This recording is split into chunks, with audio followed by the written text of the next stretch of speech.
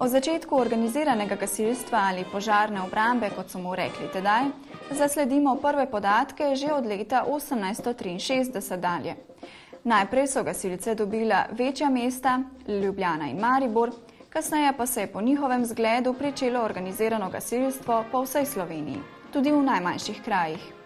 Tako lahko zatrdimo, da je gasilstvo ena od najstarejših društvenih dejavnosti pri nas, saj je mnogo društev, ki obstajajo že krepko preko 130 ali 140 let.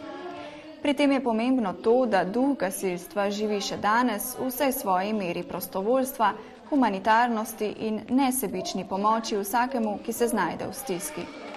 Prostovoljno gasilsko društvo Kostrevnica letos praznuje 90-letnico svojega obstoja. Ta častitljiv jubilej so počastili z veliko gasilsko parado, svečano akademijo ter veselico. Brez slednje gasilski praznik ne bi bil tak, kot mora biti.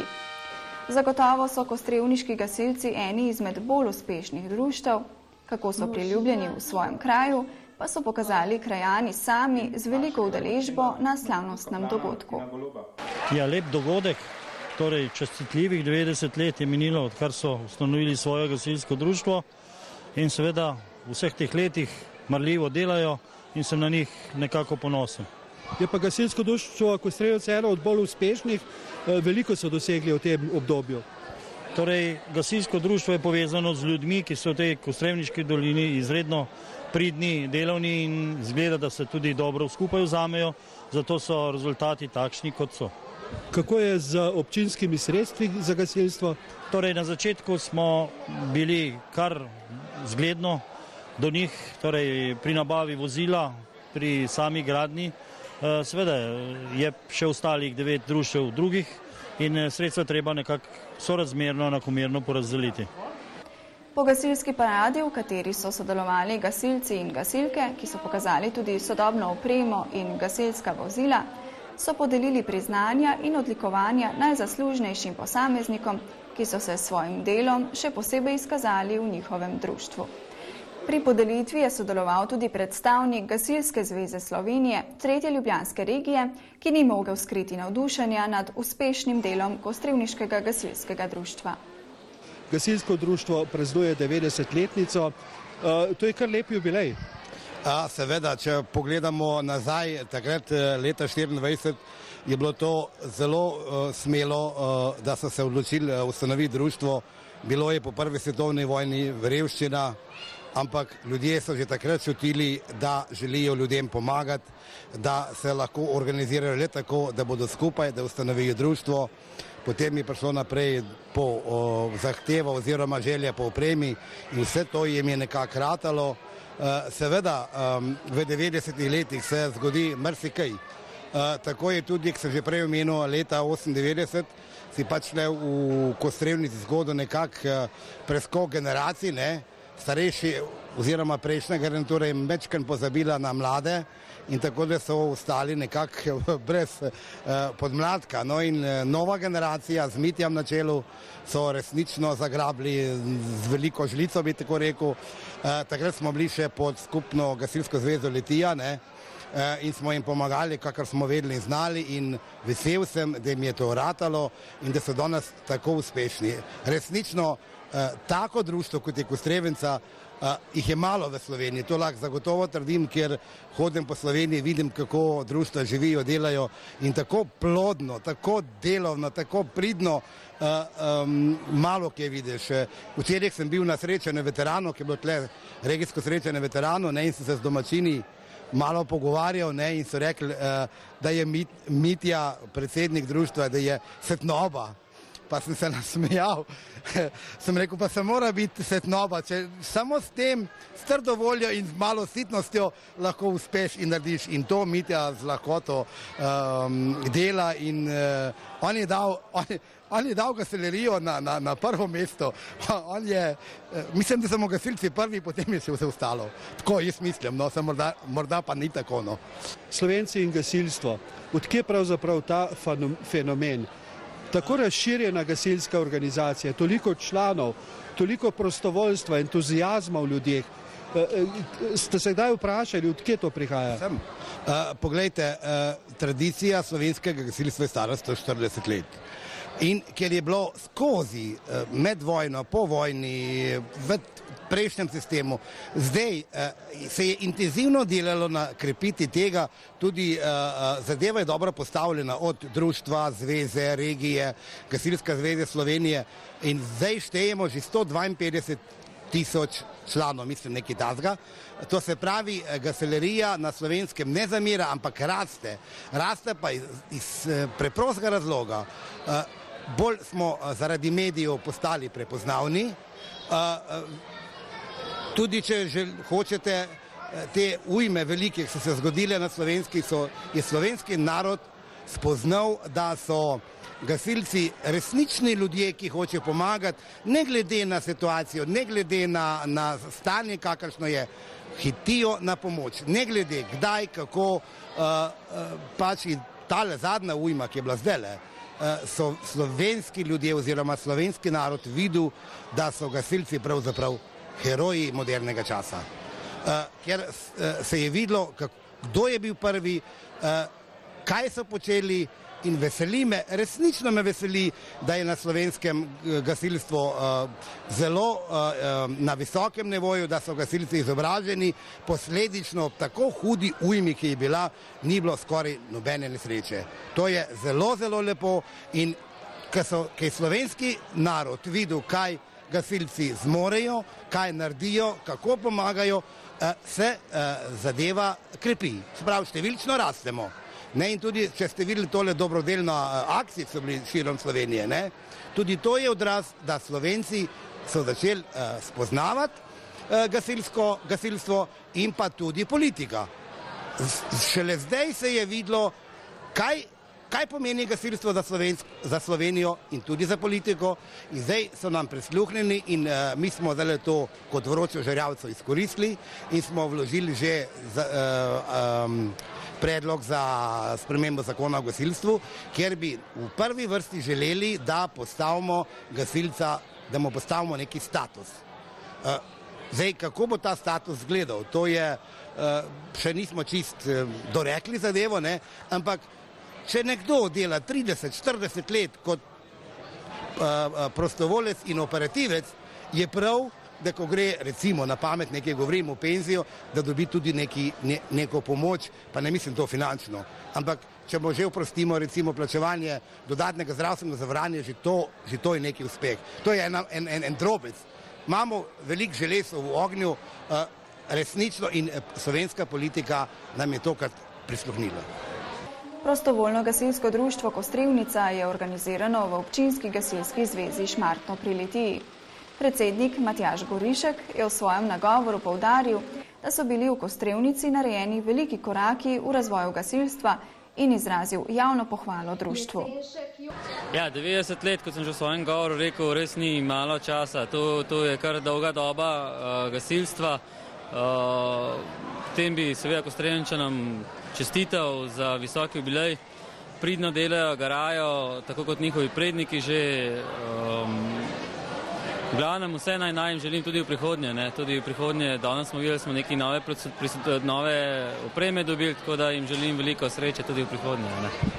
Kako, kakšno je stanje v gasilskem društvu, kako delujete, eh, kakšni so odnosi, eh, kako funkcionirate pravzaprav? Torej, eh, v gasilskem društvu Kostrevnica delujejo v, v, v okviru Gasilske zveze Šmartno. Gasilska zveza Šmartno seveda eh, pridobiva tudi sredstva iz strani občine in na podlagi teh sredstev potem tudi se razdeli med vsa ostala društva, med njimi seveda tudi PGD Kostrevnica. Kakšne so odnosi med vami, med gasilci? Ste prijatelji, se razumete? No ja, to pa naša zveza, seveda šteje devet članov, devet društev, smo majhna zveza, vsi vsako sazga pozna, tako da se med sabo dobro zastopimo, seveda pride tudi do kakšne vroče krvi, ampak uh, se kar hitro pomenimo in pomirimo tudi te zadeve. Uh, tako da se v redu zastopimo in dobro sodelujemo. No. Kako pa je na intervencijah, uh, kako hitri ste pravzaprav? Torej, ravno PGD Kostrevnica, poleg seda v srednje enote PGD Šmartna, uh, je ena, najdeja, ena najdejavnejših enot na našem območju. Uh, izvoz imajo zelo hitro, ker imajo operativo dobro urejeno, imajo dobro izku, iz, in izkušeno uh, članstvo za posredovanje ob vseh vrstah nesreč, med njimi tudi za tehnično reševanje. Uh, in imajo zelo hiter izvoz. V, mislim, da se tukaj v parih minutah pogovarjamo. No. Kako gasilci gledate na tole zakonodajo? Ne vem, težave so recimo, ko je treba izostati iz eh, službe. Eh, nekako ni tistega pravega razumevanja še, eh, kot bi ga moralo biti.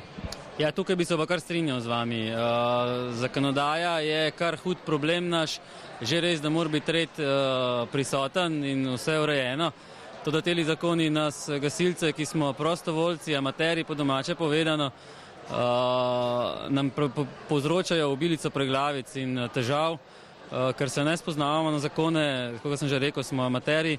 Eh, pridobivamo razna mnenja, potem so kakšni razpisi od zunij, se je zopet težko prijaviti, ker se na to ne spoznamo. Ne? Uh, obenem, obenem pa nam država seveda nalaga tudi uh, nove in nove naloge, uh, predvsem gre tukaj za varstvo pri delu, pri posledovanju ob, ob nesrečah, uh, po drugi strani pa nas z omejitvijo denarja pa tudi kar dobro, uh, uh, da temu rečem, uh, omejuje. Uh, ja, zelo me veseli, da imamo v naši gasilski zvezi kar nekaj društev z tako dolgo tradicijo uh, in s tem lahko samo uh, potrjujemo, da se bo gasilstvo tudi v prihodnje še nadaljevalo in da bomo še vedno občanom zagotavljali varnost.